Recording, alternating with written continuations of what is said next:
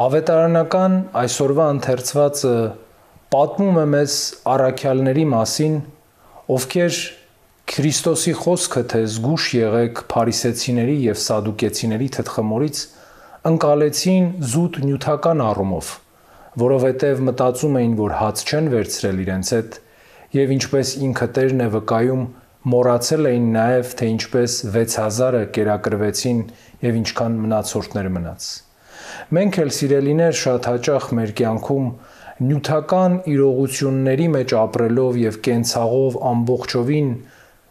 խեղդված լինելով եւ ապարուրված լինելով մոռանում ենք ամենակարևորի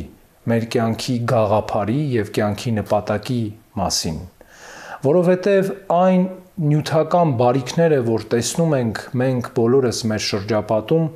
բխում են մի կարևոր իրողությունից՝ Տիրոջ շնորից եւ մարդկային գաղափարից այդ նյութը ստեղծելու։ Եվ երբ մենք անտեսում ենք գաղափարը, անտեսում ենք հավատքը եւ արժեքները, մենք զրկվում ենք նաեւ նյութից։ Մարդկության պատմության ընթացքում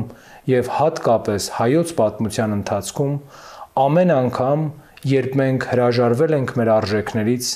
երբ մենք հրաժարվել ենք մեր ինքնությունից, մենք միշտ կանգնել ենք հացի խնդրի առաջ նաեւ Դրա համար, սիրելիներս, մեր Տեր Հիսուս Քրիստոսով մենք պիտի միշտ հավատարիմ լինենք մեր ինքնությանը,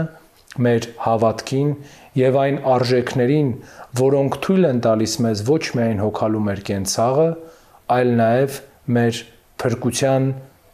ուղին դնելու եւ փրկության ուղով ընթանալու